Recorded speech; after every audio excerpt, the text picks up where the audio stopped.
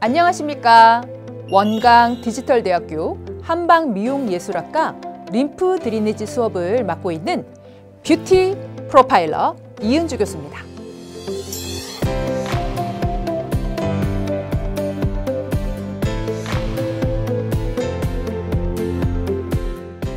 아직도 림프 드리네지를 국가시험 3교시 테크닉으로만 알고 계시다면 그건 오산. 전문가라면 제대로 알고 하셔야죠. 저는 암 수술 후 오는 부작용인 림프 부종을 십수년간 케어를 하면서 그들의 절실한 상황들을 함께 고민하면서 관리를 해온 전문가이고요.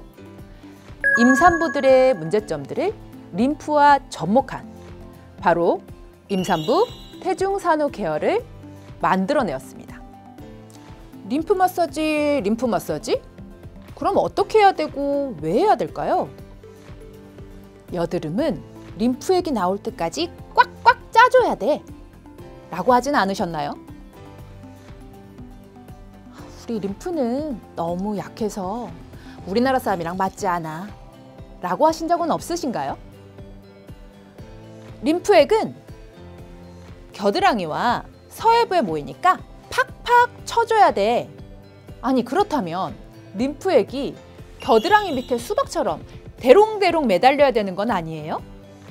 이제는 제대로 된 학문적 이론과 실무적 임상이 결합된 전문가가 필요합니다.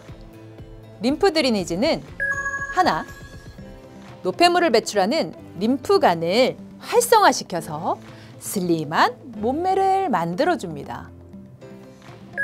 둘, 림프관이 존재하는 결합 조직과 세포의 기질들을 부드럽게 만드는 역할을 해서 민감 피부, 여드름 피부, 그리고 기미 피부 등 피부 건강에 문제가 되는 것들에 도움을 준다는 점. 셋, 신경계를 안정시켜 통증 및 현대인들의 문제인 스트레스를 해소한다는 점. 이미 국제 학술지에서도 증명되었습니다. 다양한 고객의 피부 상태, 건강 상태, 정서적 상태에 따라서 림프 드레니지를 적용해 보시는 건 어떨까요?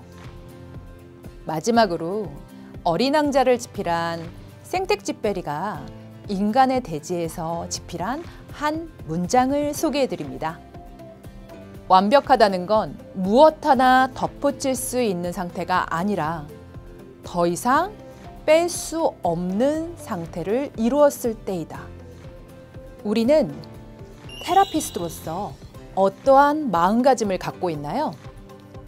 완벽한 테라피는 비움의 미학이 필요한 것은 아닐까요? 림프 드레니지를 통해서 말이죠.